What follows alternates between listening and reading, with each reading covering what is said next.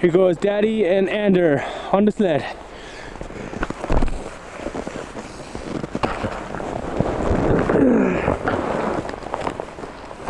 You ready, brother? Here we go.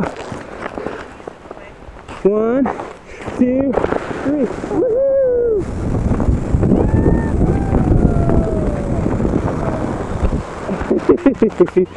Woohoo!